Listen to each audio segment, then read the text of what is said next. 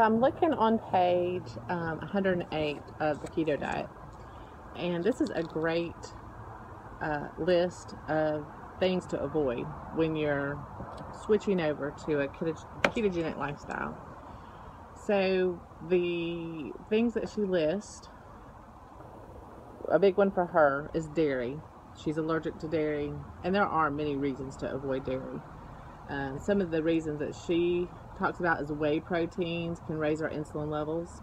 I believe that and cause some imbalances in our blood sugar. It can increase inflammation in our bodies. Um, has natural hormones in milk that were designed to stimulate the growth of baby calves, calves, um, and so it can lead to some weight gain. So there, there are some valid reasons to not eat dairy every day, or just avoid it altogether if you want to. So that might be a big jump if you're coming off of grains as well and other carbs. So if you need to do it just a little bit at a time, I'm all about that. The other thing that there are some other things that seem healthy and they can be once your body is corrected and healed. Um, but at the moment, I'm avoiding all of those. Uh, and I've eaten in the past. I feel like I'll eat them in the future. So that group is the legumes. So things like beans, lentils, which I don't eat very much, peanuts, which they have their own issues because they're they're just a lot of times full of mold and fungus and that kind of thing. Soy and peas. So those are things you definitely want to avoid. Um, and then we'll go into the group of the grains. You want to make sure you're avoiding corn, quinoa, wheat, oats, rice, and any kind of breads. And then, of course, sugar. Um, table sugar, that agave nectar that's not supposed, it's supposed to maybe not affect your blood sugar as much, I'm not sure, but that is out. High fructose corn syrup, which they put in just about everything. Even when I wasn't eating right, I was doing my best to avoid high fructose corn syrup. And, you know, my kids don't eat this way right now. I really hope to get them over that hump and do that, but I try my best to buy things that don't have the high fructose corn syrup in them and then brown sugar or anything that has those sugar ingredients in them. Um, maple syrup and honey. I feel like again those have a place in a good healthy diet, but at the at this present time I am working really hard on healing my body from some damage, so I'm not including any of that in there. I try to stay away from anything sugary. Um, the only things that I choose to eat sweet is the stevia uh, and I'm not going to say this right, the erythritol. Um, and those two things don't affect your blood sugar as much. I think they do play a part. So if you can avoid those and not um, maybe include those if you don't need to, that's even better. Um, sometimes it's just hard coming off a lot of things at one time. So that's why in that other video I talked about maybe just doing it a little bit at a time. The next group I want to talk about is processed foods. Um, those are anything that have artificial sweeteners such as aspartame, um, any kind of Little Debbie's, which I grew up on, oatmeal cream pies, my favorite.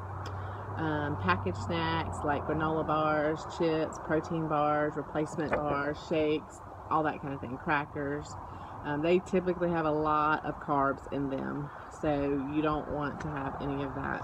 Um, and I, I talked about in other video, what do you do? What do you snack on then? Um, you can do those, the eggs. You can have boiled eggs. I know that doesn't sound exciting. That's why I like to mix all that up together with the, the eggs and the bacon and the mayonnaise and that little bit of salt. And then you can have, you know, the pink, the um, soy, not soy, I'm sorry, sunflower butter as a snack too. That'll get you through if you're still kind of fighting through that. I still have glucose in my body, but I'm trying to convert over to a fat burner. You can do some of those things, and I'll try to include some other snacks that you can do. And you can, I mean, obviously, you can Google and find all kinds of keto recipes and fat bombs to kind of help you um, get through that. Fat bombs are really just a high concentration of fat. So, uh, and you can do them sweet or you can do them salty. I actually prefer a lot of salty things now over the sweet just because I don't have that much. So, um, so those are things that you don't want to eat. So now I want to talk about fruit because that's kind of a, you know, fruit's supposed to be good for you, and it is.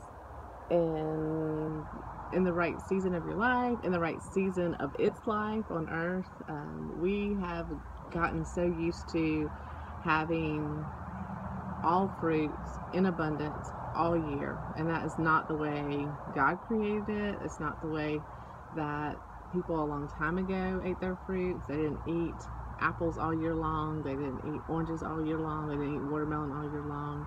So you'll notice that some fruit is more seasonal.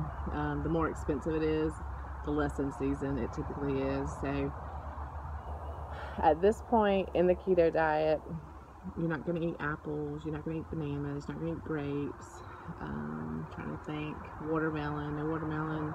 Um, no cranberries. When I think of cranberries, I think of dried cranberries. So no dried fruit. Uh, you could probably have regular cranberries if you really wanted to go that sour. So, so what can you eat? What can what fruits and vegetables can you eat? Well, there is lots of things that you can eat. Um, you can eat. Let's see. I have a list over here. Mm, you can have. Okay, so for your fruits, you can have um, berries, strawberries, blackberries, like I said, cranberries, as long as it's not dried cranberries, um, any kind of berry. I can't eat berries just because of the kidney stone stuff, but it's okay. I'm I'm fine without them. Or if I have them, I have them in a minuscule amount. Um, so vegetables. I attached the list. Lots of vegetables that we can have. Uh, even though they might have a little bit, the ones that are in that list that are that might have a little bit higher carb count, they have a lot of fiber, which deducts from that. Um, like broccoli and cauliflower and lettuce, any kind of leafy greens are fine. Again, I have to be careful with spinach because it's high in oxalate or any dark leafy greens. But most people are fine with that, and it's a great source of vitamins. Um, avocados, that's a fruit um, but it's very high in fiber and very high in fat. So if you like avocado, eat that. Um, I like it okay. I'm more of a guacamole girl, but that's something that you can eat and mix together. Um, and there's ways to have chips if you want to make something like guacamole where you can I would say parchment paper is going to be your friend. So lay out some parchment paper, put some Parmesan cheese, um, like in little, you know, little tiny sections like this. So just put a little Parmesan cheese and then stick it in the oven. Can't remember what the temperature should be. It's not very long. Again, you can Google that. And they'll come out kind of crunchy and hard. This is if you're eating dairy. You can do this. You can also do bacon like that, so you can use it as a dip, bacon as your chip. So you can do those little Parmesan cheese chips because they get hard, and you can dip that in your salsa and sour cream and full fat sour cream. Don't try to go low fat. You want full fat, whatever you're doing.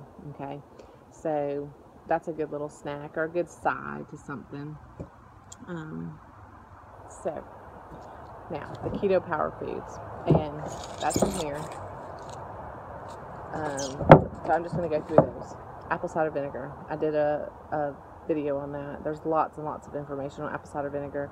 And once you start drinking it, you can um, you can start getting used to it.